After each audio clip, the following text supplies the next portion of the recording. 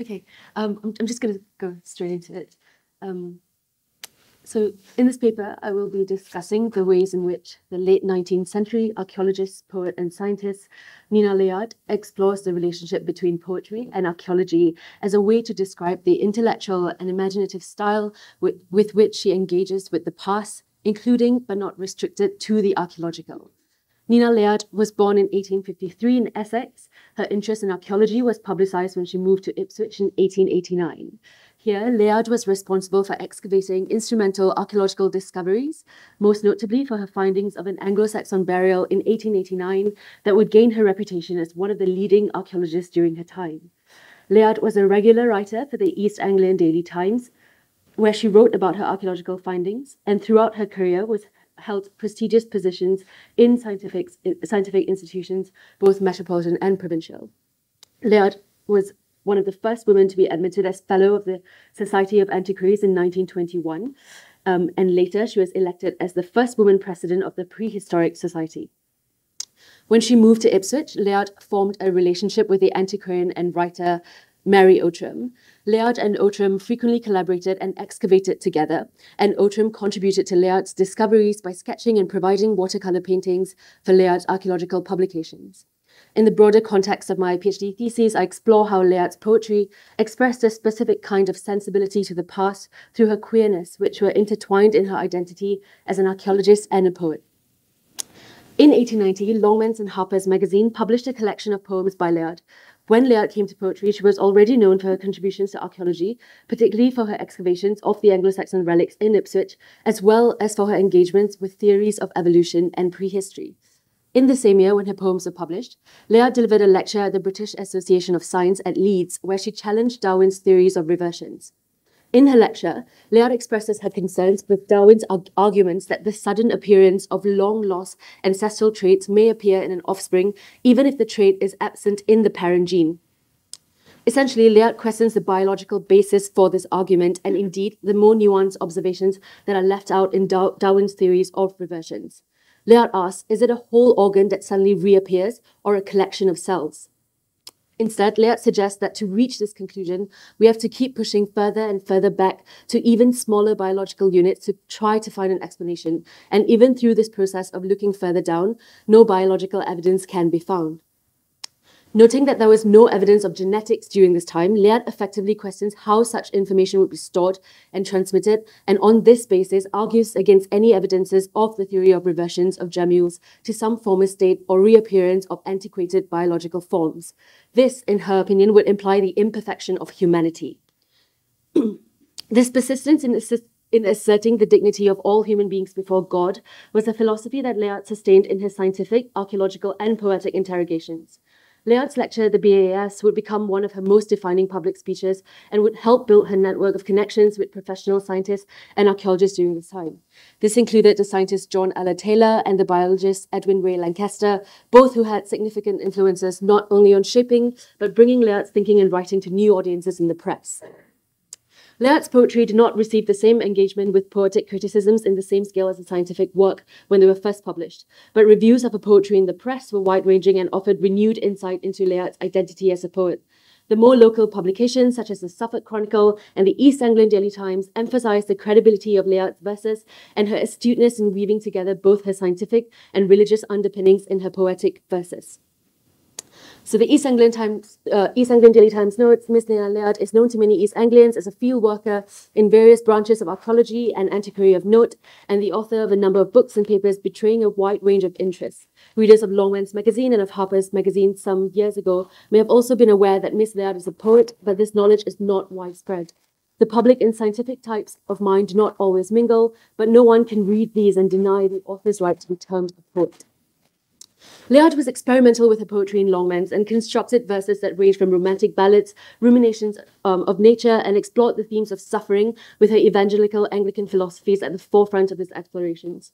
I argue that all of these intertwining threads feed into the more intimate, the more emotionally realized dramas that the grand sweeps of imperial history can tell, and which is simultaneously explored in her longer archaeological prose.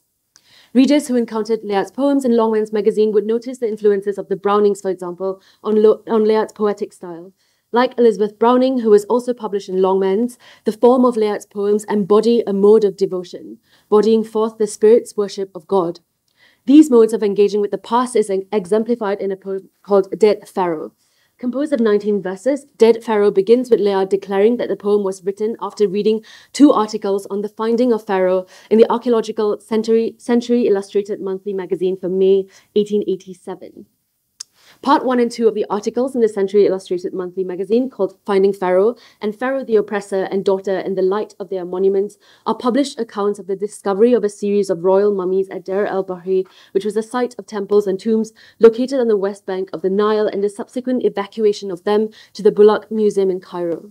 The site became prominent in 1881 when, as the article reports, the German Egyptologist Emil Brugsch discovers these mummies and retells the story of the discoveries to an American reporter.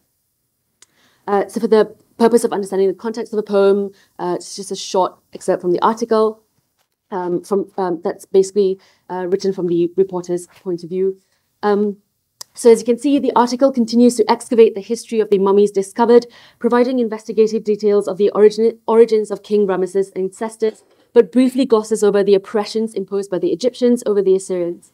I argue that Layard's poem does the work of merging both the cultural eminence of Ramesses II during this time and the religious debates it evokes, and in doing so demonstrates how intertwining poetry and archaeology can be constructive of re-evaluating biblical authority while simultaneously resisting the glorification of such colonial narratives of the ancient past.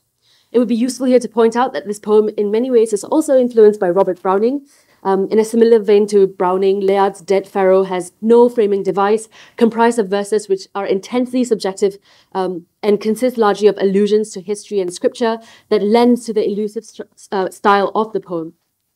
Like Browning's dramatic monologues in poems such as Saul, Death in the Desert, and Rabbi Ben Ezra, which are specifically about ancient biblical, biblical characters, Layard's intent is clear from the beginning of the poem to reinsert the hermeneutics of the biblical discourse enmeshed in the retellings of King Ramesses II.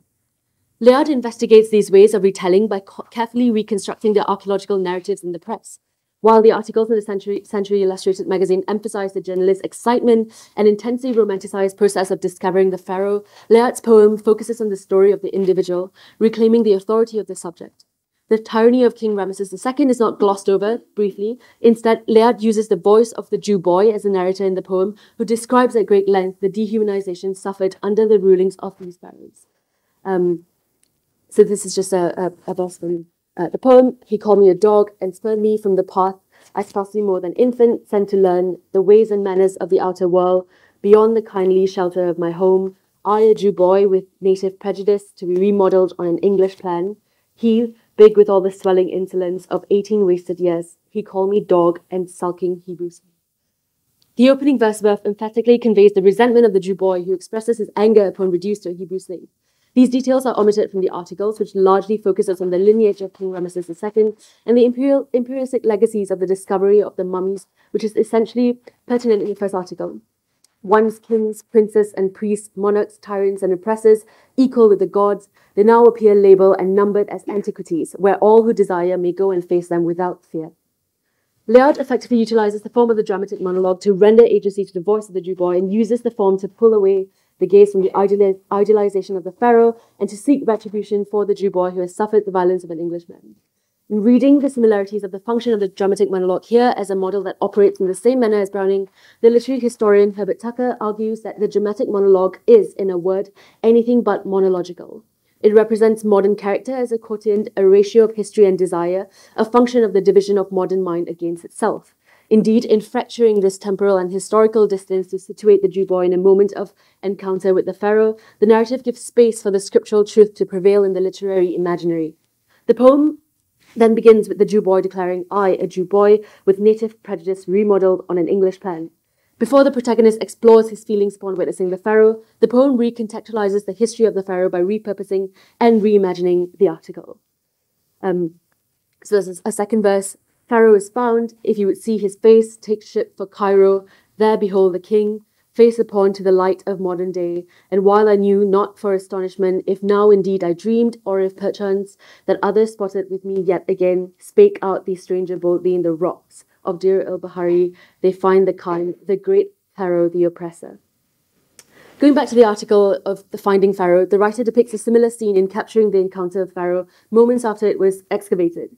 The focus of the narrative is fixated on the archaeologist's wonder upon discovering the king in mummy form.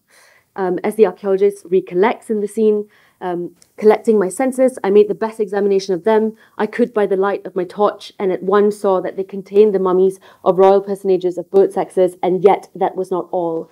I shall never forget the scenes I witnessed when standing at the mouth of the shaft I watched the strange line of helpers while they carried across the historical plain the bodies of the very kings who had constructed the temple still standing, and of the very priests who had officiated them in the temple of the Hatasu nearest away from the Khune.